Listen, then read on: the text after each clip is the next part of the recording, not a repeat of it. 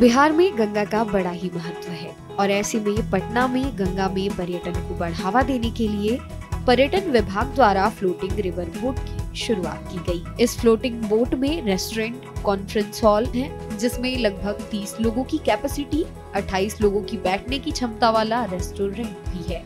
साथ ही इस बोट पर पार्टी का भी आयोजन किया जा सकता है। यह बोट दो फ्लोर का है और नीचे फ्लोर पर रेस्टोरेंट है। साथ ही ऊपर फ्लोर पर बैठने की भी व्यवस्था की गई है। पटना के लोग या बिहार के लोग कोई भी जो है इस सर्विस का जो है उपयोग कर सकते हैं। और इसमें बर्थडे पार्टीज़ हो या सेलिब्रेशन की कोई बात हो या ड्रिंक सेरेमनी हो, इसमें रेस्टोरेंट की भी व्यवस्था है।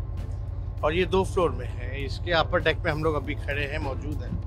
और आप देख सकते हैं नज़ारा साइट सीइंग का नज़ारा। गंगा में रह करके पटना, जो पुराना पटना सिटी जो रहा है, उन इलाकों से जो अब आप जा सकते हैं, गुजर सकते हैं, पटना का नज़ारा का लुफ्त उठा सकते हैं। काफ़ी बहुत ही बढ़िया पर्यटन को देखते हुए ये है। बिहार के उप मुख्यमंत्री ने कहा कि गोवा से अधिक पर्यटन बिहार में है।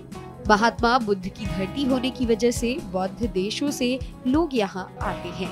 बिहार में पर्यटकों को अधिक दिन तक रोकना एक चुनौती जैसा है और इसके लिए हम टूर गाइड आदि के साथ बैठक कर रहे हैं। गोवा से ज़्यादा टूरिस्ट जो है फुटफॉल जो है, वो बिहार का है।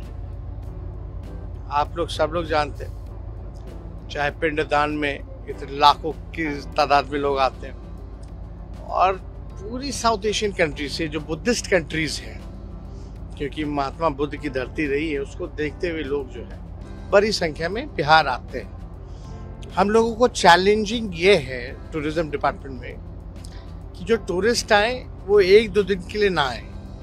इनको होल्ड किया जाए, लंबे समय तक रोका जाए। इसको देखते हुए हम लोगों ने जितने भी टूर गाइड्स थे आ, उन सब लोगों के साथ या टूर ऑपरेटर्स वगैरह हैं इन सब लोगों के साथ हम लोग बैठक कर रहे हैं। और इंटरनेशनल लेवल पे भी लोग जा रहे हैं। और आपको बता दें कि बर्लिन में जो इंडिया ने स्टॉल लिया उसमें बिहार का भी स्टॉल है। तो ये खुशी की बात है। हमारे अधिकारी पर्यटन विभाग से हम लोग बर्लिन भी जो है लोगों को भेज रहे हैं।